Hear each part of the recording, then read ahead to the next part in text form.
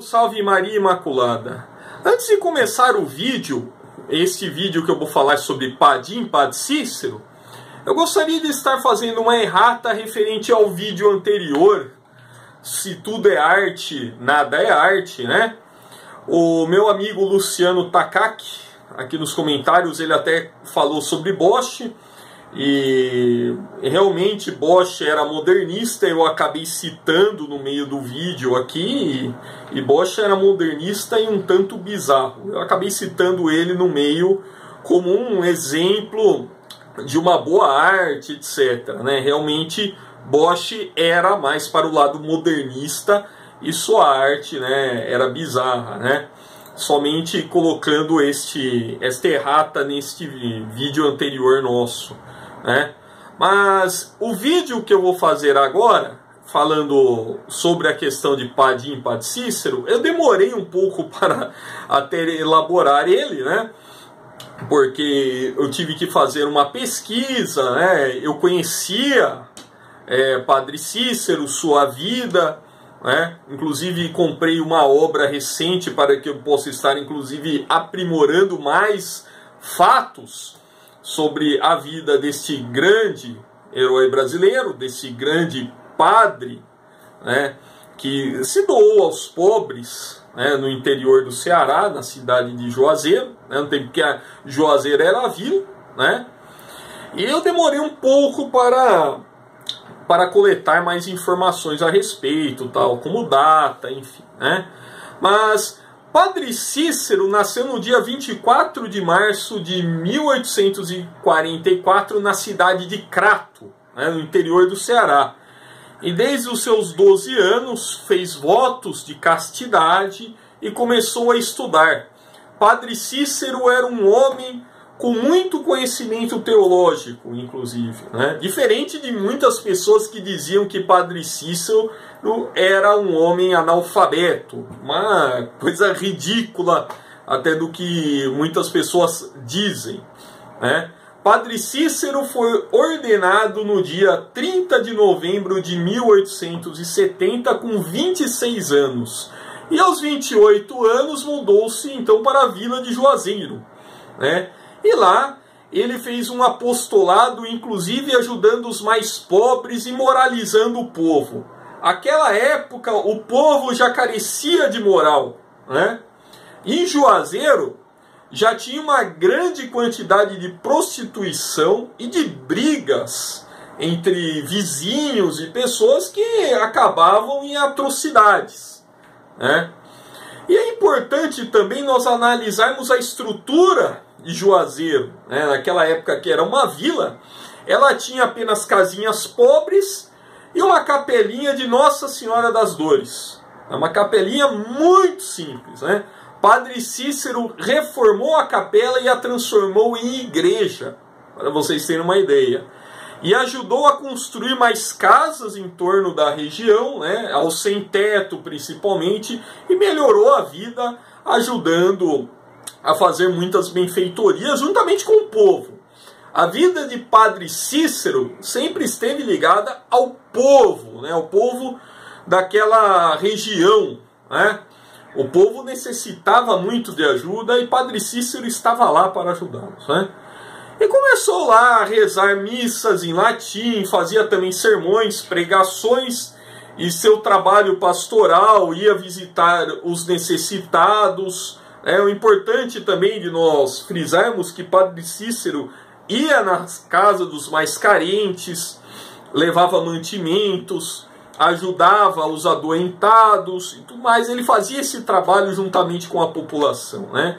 Ia dar uma palavra, um aconselhamento ao povo, né? palavras de esperança aos adoentados, enfim. Padre Cícero foi o maior benfeitor de todo o interior do Ceará, para vocês terem uma ideia.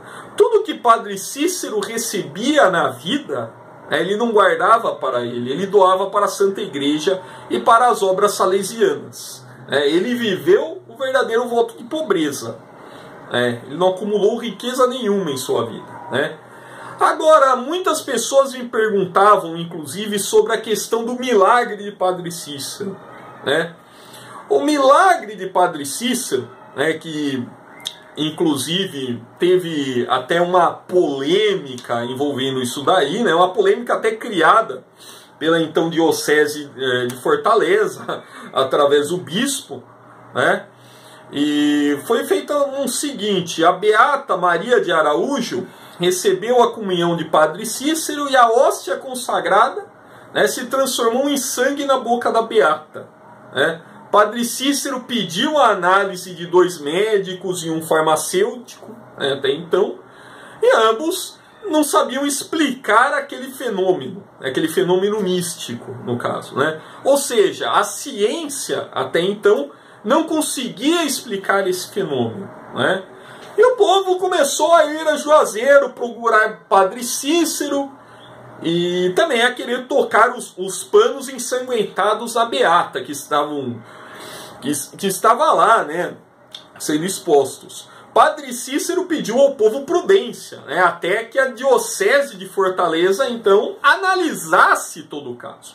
Então a diocese de, de Fortaleza enviou uma comissão que analisou tudo aquilo.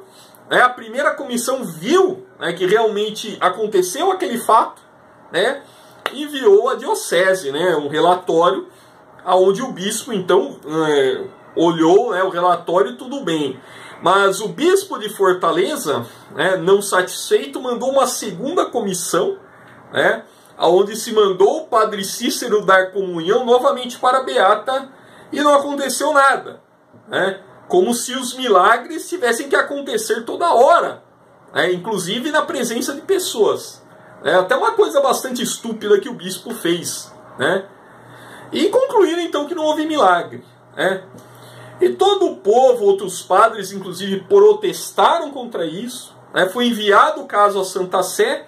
E a Santa Sé, infelizmente, acompanhou essa segunda comissão. Né? Acompanhou essa segunda comissão. Padre Cícero, então, foi suspenso da ordem clerical, né? perdeu o estado clerical, né? ou seja, foi proibido de rezar missas, foi proibido da sua função de padre. É, mas então Padre Cícero recorreu a Roma, né, conseguiu uma vitória no ano de 1898, 1898, mas a Diocese de Fortaleza jamais voltou atrás a respeito disso. É, jamais deixou ele voltar ao estado clerical. Né? E a pedido do povo, porque Padre Cícero sempre foi amado pelo povo, é de Juazeiro, tudo mais, ele entrou para a vida política e lutou pela emancipação né, da então Vila de Juazeiro, que ocorreu no dia 22 de julho de 1980, no, 1911, desculpem. E no dia 22 de julho de 1911. São muitas datas, né, muitos fatos ocorridos. Né, e, e seguiu na carreira política, né, foi prefeito, inclusive, da cidade né? Chegou a ser nomeado vice-governador, mas nunca exerceu o cargo. Narram até um encontro de Padre Cícero em 1926 com Lampião, aonde Padre Cícero aconselhou ele deixar o cangaço, né? Mas Lampião nunca lhe deu é, atenção a isso, né? Como inclusive foi colocado até por alguns historiadores, alguns biógrafos e Padre Cícero. Né? Lampião nunca deixou o cangaço, mas Padre Cícero pediu a ele para que ele deixasse o cangaço. Padre Cícero faleceu no dia 20 de julho de 1934, aos seus 90 anos, tendo ajudado muito o povo de todo o interior do Ceará. Ele não era apenas mais uma figura né, é, retida na, é, na cidade então de Juazeiro, né, e sim de todo o Nordeste. Né, todo o Nordeste né, tem um respeito muito grande por Padre Cícero. Né. Inclusive, há homenagens com o nome de Padre Cícero em muitas e muitas cidades do Nordeste. Né. Padre Cícero, nós podemos dizer, é um grande personagem brasileiro que ajudou muito o povo.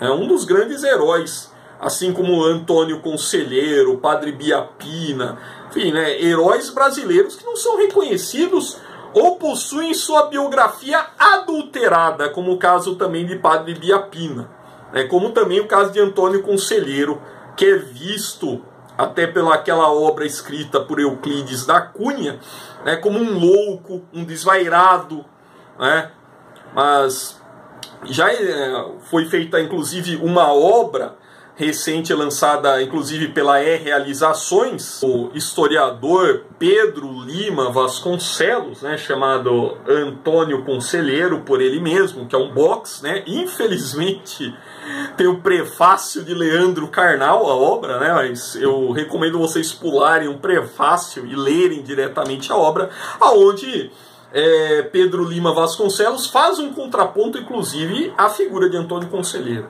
né? A figura que foi feita por Euclides Acunha naquela obra Os Sertões. Né? Bem como você também tem uma biografia muito bem elaborada de Padre Cícero, feita pelo próprio Lira Neto, né? onde ele também narra a vida religiosa e a vida política de Padre Cícero.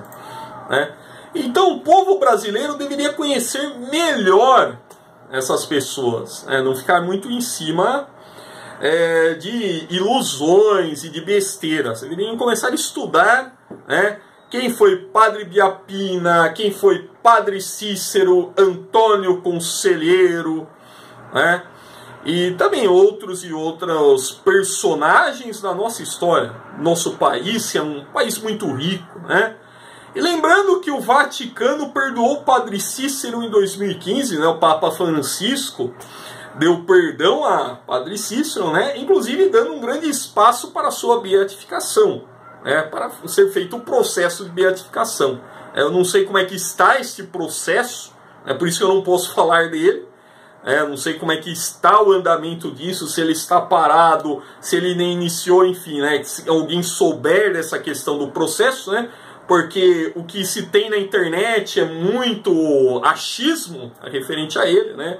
Então, por isso que eu nem vou comentar sobre o processo, o início de processos de Padre Cícero, mas ele foi perdoado pelo Vaticano em 2015.